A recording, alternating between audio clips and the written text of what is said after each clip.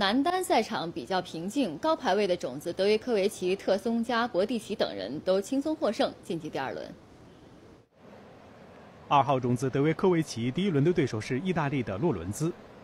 在年初的澳网比赛中，小德曾经连下十七局送出两个六比零，将对手淘汰出局。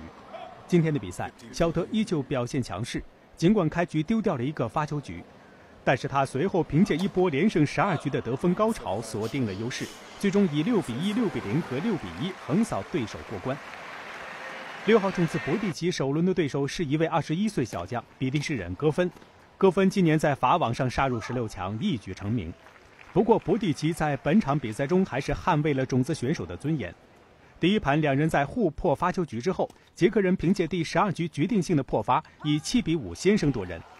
第二盘和第三盘，博蒂奇两次在三比三平之后，连赢三局完胜对手。小将戈芬其实全场拿到了十八个破发机会，不过他只成功的破发两局，也暴露出了年轻选手在关键分把握上的能力不足。